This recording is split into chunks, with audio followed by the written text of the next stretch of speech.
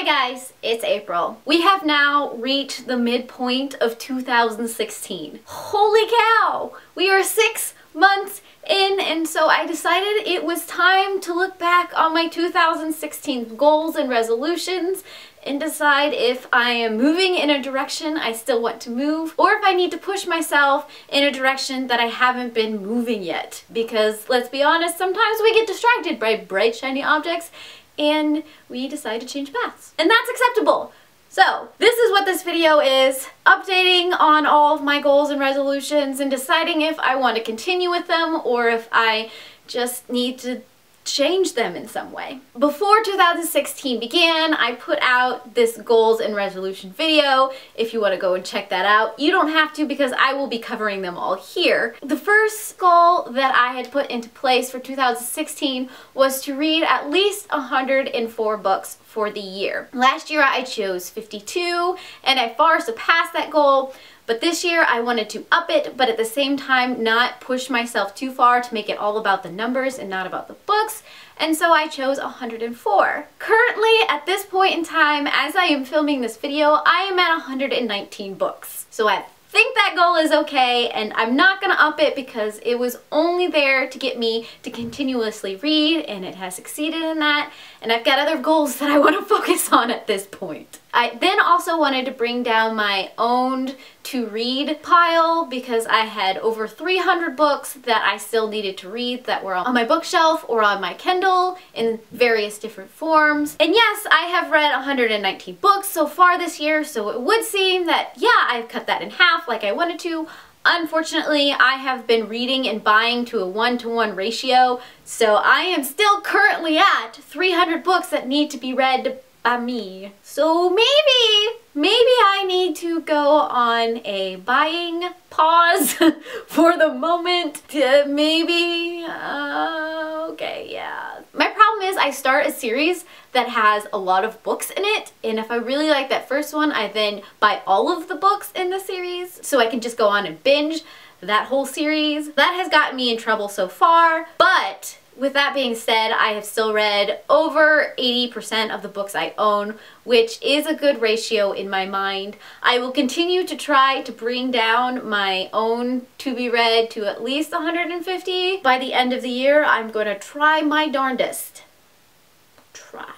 I then also wanted to continuously review and rate all of the books that I read in the year so that at least on Goodreads or on Amazon or some kind of online platform, I had a memory of reading those books and what I was thinking when I read them. Unfortunately, that hasn't gone very well. There are a few books that I have written some lengthy reviews on, but most of the time I am just giving star ratings, and that tends to be because I just, as soon as I finish a book, I continue on with the next one and if it doesn't leave enough of an impact on my brain and there isn't something that I really, really want to talk about, writing about it seems like a chore. I am going to continue to try and get better at that. I might need a bit of a push, so if you know me and you see that I have just given it a star rating, I give you permission to harass me to write down what I thought. But be nice about it. Please. In the same veins of reviewing all of the books that I read, I also wanted to up the amount of video reviews that I did on this channel. I think I stated something about doing 1.5 reviews a month, so three reviews every two months. At this point in time, I have done at least eight reviews this year on this channel, and seeing as we've only gone through six months so far, I am doing pretty well. At least I think so. I'm pretty much on track for doing that and I will continue to do that because the more I do it, the more enjoyment I get out of doing those review videos, even if they are the videos that most people don't watch. I, I do like going into depth about certain books and so when I find those books that I really really need to get words out about I find the easiest way is to just sit there and ramble about them because writing is harder for me than talking is. So I will continue to expand my review catalog of videos and I hope that's okay with you guys. I did want to do more buddy reviews this year because last year I had just started out with booktube and learning about what buddy reads over the internet were like and all that kind of stuff. I have found a permanent reading buddy with Shayla over at Shae Geeks Out. So we have been reading at least a book a month, if not more, where we've been going back and forth. And of course, I've expanded with my roommate, reading more books with her, which has been really fun. I am still open to anybody who wants to do a buddy read with me of any kind. If you have a book that you want to read that you saw I've hauled or wondering if I have read before and maybe we want to read together,